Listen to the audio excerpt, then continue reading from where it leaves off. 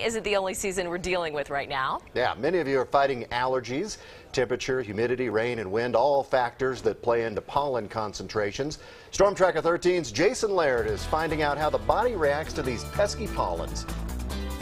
Nearly all of us have been there. You walk outside, and next thing you know, your eyes are watering, nose is running.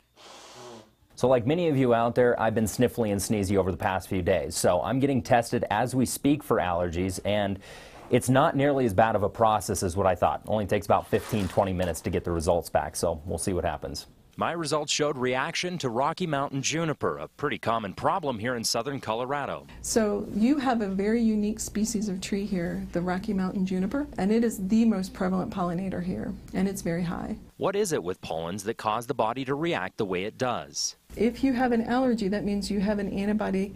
It's on the cell and it's waiting, and if it sees its allergen, it will activate basic, and release sacs of chemicals that have already been formed and are just sitting there waiting.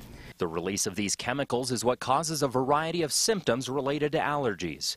Colorado weather is the key player when it comes to allergies here in the state. Overly dry and windy conditions stir up pollens, making for a stuffy spring season.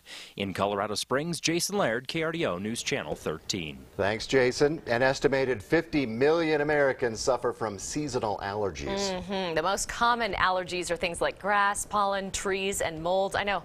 I've been sneezing a lot lately. You? Yeah, that Rocky Mountain juniper. Maybe that's what it is. I should go get tested. There's something out there, though. Mm -hmm. I think it's trees today, isn't it, Rachel? That's the big one? Yeah,